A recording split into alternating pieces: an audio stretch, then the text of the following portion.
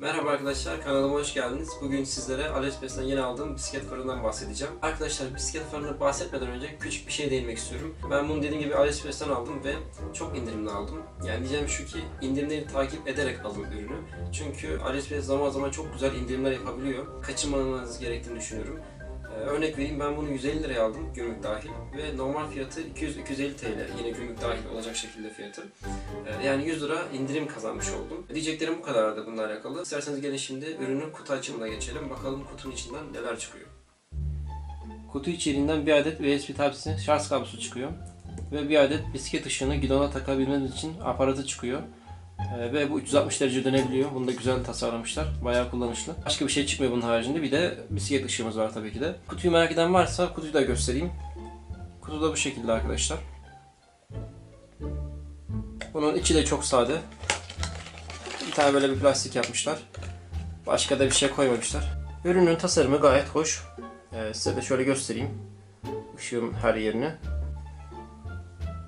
Ve arkadaşlar ürün sağlam bir malzemeden yapıldığını düşünüyorum. Böyle elime alınca çok böyle sağlam hissettiriyor. Sudan ve tozdan etkilenmeyeceğini düşünüyorum. İsterseniz başlayalım özelliklerinden. İlk olarak tabii şu süngeri ben çıkartmadım. Bu sünger, sünger normalde çıkıyor da böyle daha hoşuma gitti. O yüzden çıkartmadım bu süngeri. Arkadaşlar ilk öncelikle açma kapama tuşunu göstereyim. Burada açma kapama tuşumuz var. Ve bu açma kapama tuşunun etrafında daha yakından göstereceğim bunu. Bildirim ışığı var. Hemen şöyle göstereyim. Bakın yeşil yanıyor. Ve bu şarjı azaldığı zaman da kırmızıya dönüyor. Pil durumunu gösteriyor kısaca. Onun haricinde yukarıda başka bir şey yok. Işığın arka tarafında ise bir şeyle kaplamışlar. Sanırım burayı böyle tırnakla açınca galiba pili çıkartmak için o tornavida bölümleri falan var diye tahmin ediyorum. Yan kısımları bu şekilde. Herhangi bir şey yok. Işığın kendisine gelirsek de 5 tane T6 LED mevcut. Yazdığına göre sitede 3000 lümen gücü varmış. Ama AliExpress'te bu lümenler biraz sanki random yazılmış gibi. Çok böyle anlaşılmıyor doğruluğu. Şu üst çerçeveyi birazcık uzun yapmışlar hafiften. Belki yağmur falan gelir diye öyle tahmin ediyorum. Ürünün alt tarafında bisikleti sabitleyebilmemiz için e, böyle bir alan yapmışlar. Buraya gidon sabitleme aparatını takıyoruz. Ve ayrıca şu kıstırmalı bölüm güzel yapmışlar. Hem sağlam hem buradan sökebileceğiniz bir alan yapmışlar. Hem de hani ürünün bu şekilde olup başka yerlere de takabilmemizi sağlamaları çok iyi. Yani mesela bunu cebimin kenarına takabilirim işte ya da çantaya takabilirim bu şekilde kıstırmalı olduğu için. Bunu çok güzel düşünmüşler. Ee, çok beğendim bu özelliğini. Bu kapağın altına da arkadaşlar ürünü powerbank olarak kullanabilmemiz için USB girişi ve altına da ürünün kendisini şarj edebilmemiz için USB Type-C girişi yapmışlar. USB Type-C girişli olması bence çok güzel bir avantaj çünkü daha uzun ömürlü olduğunu düşünüyorum USB Type-C'lerin. Su geçirmesini önlemek için böyle bir kapağın olması güzel olmuş. Ayrıca de arkadaşlar bu girişlerin alt tarafta konumlandırması çok mantıklı olmuş. Ben burayı çok beğendim. Çok iyi düşünülmüş. Çünkü hani şayet işte bu kapak koptu ya da ne bileyim bir şekilde su geçirme durumu olsa ya da ben kullanıyorum mesela o anda burayı. Altta olması çok mantıklı çünkü yağmur işte çapraz gelecek, sağdan soldan gelecek ama e, hiçbir şekilde alta gelmeyeceğini düşünüyorum. Yani bunun altta olması bence gayet güzel olmuş, iyi düşünmüşler. Bu konuda ben çok beğendim bu ürünü. Ürünün boyutu birazcık büyük arkadaşlar. Uzunluğu 12 santim, yüksekliği 2,5 santim olması gerekiyor ve genişliği de 3,5-4 santim diye hatırlıyorum. Elle tutuş hissiyatı güzel ama hani bunu el feneri olarak da kullanabilirsiniz. Öyle güzel bir tasarım yapmışlar ki sırıtmıyor. Ürünün ağırlığı 390 gram civarında. Bu kadar ağır olmasının sebebi bataryasından dolayı. İçinde 10.000 amper bataryası var ve bu rakam çok çok iyi bir rakam ve rakiplerinden ayıran bir özellik olduğunu düşünüyorum. Bir kere şarj ettikten sonra sanırım diğer ışıklar gibi bir daha şarj bitme korkusu yaşamayacağız gibi duruyor. Ve bu denli büyük bir bataryayı powerbank olarak kullanmayı düşünmek bile çok mutlu ediyor. Benim gibi uzun tur yapmayı sevenler için hayat kurtaran bir ürün olmuş bence. Işığın 4 farklı modu var arkadaşlar.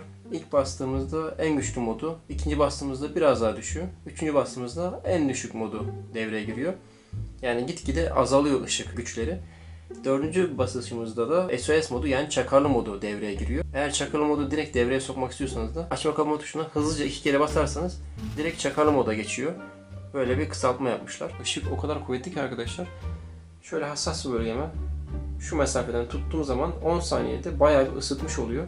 Zaten ürünün üzerinde e, sıcak olduğunu belirtmek için böyle bir uyarı e, sticker yerleştirmişler.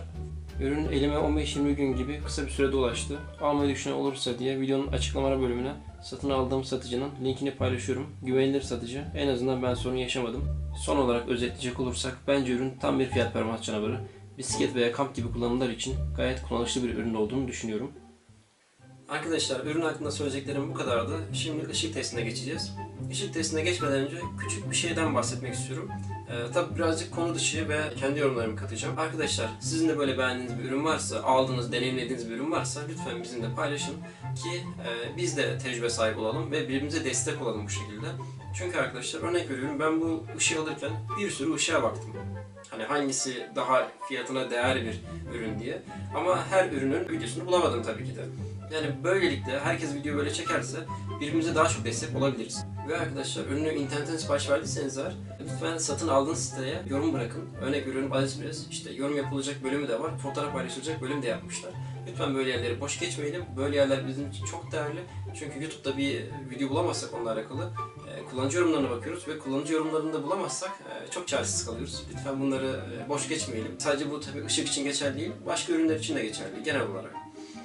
Ve arkadaşlar lütfen şuna dikkat edin eğer ışık testi yapacaksanız. Bazı videolarda gördüm işte kameraya doğru ışık tutuyorlar böyle ve biz o ışıktan anlayamıyoruz. Yani ışık nasıl iyi mi kötü mü anlayamıyoruz ya da işte şu mesafeden tutuyorlar. Ya yani ya böyle tutuyorlar ya da işte bakıyorum alıyor kameraya bu şekilde tutuyor.